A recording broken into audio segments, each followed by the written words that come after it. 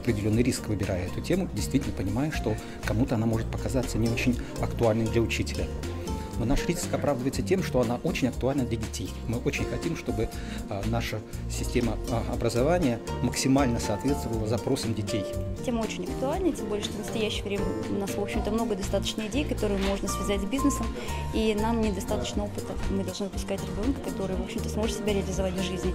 Это самая главная задача каждой школы. Поэтому, с моей точки зрения, это просто необходимо, и самое главное, сейчас научить педагога. На мой взгляд, самая главная задача школы в этом плане – это дать возможность тем, кто, в принципе, могут что-то делать, это делать. Роль как раз э, учителей и школ в том, чтобы создать эту среду, где молодые люди могут сами выбирать, что им делать, а дальше уже, собственно, пробовать, делать и нести ответственность за то, что у них получилось.